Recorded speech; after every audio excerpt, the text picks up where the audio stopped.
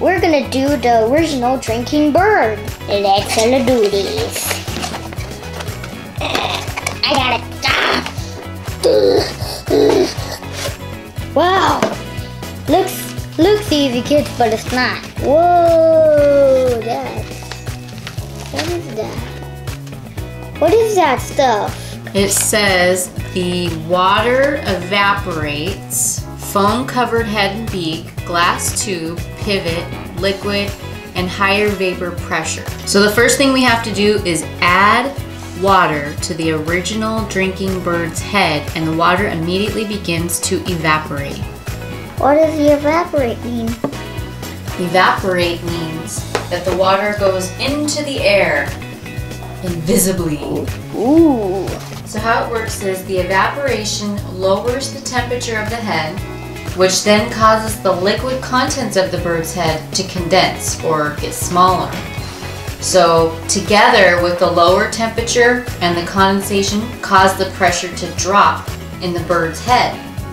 The difference in the pressure of the head and the abdomen causes the liquid contents to be pushed upward into his stomach so as the liquid flows from the stomach to the head, it becomes top heavy and dips over into the glass of water, starting the process over again. It's an example of a heat engine. Oh, it's going up. Liquid's going up. Is that good or bad? That's good, it's working. So the liquid's going up, and it's gonna go into his head,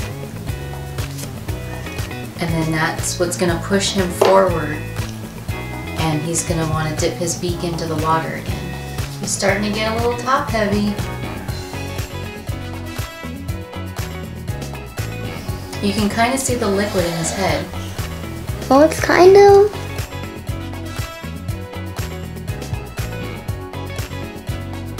Oh, it went down.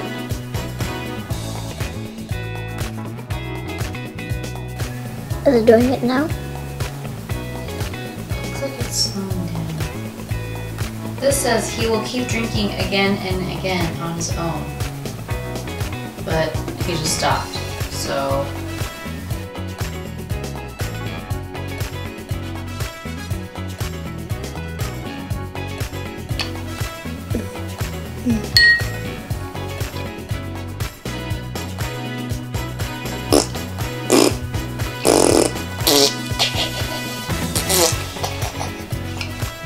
Ew.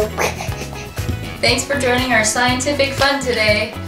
yeah, fun. We had so much fun waiting here for two hours. Make sure to subscribe for more amazing Hobby Kid fun.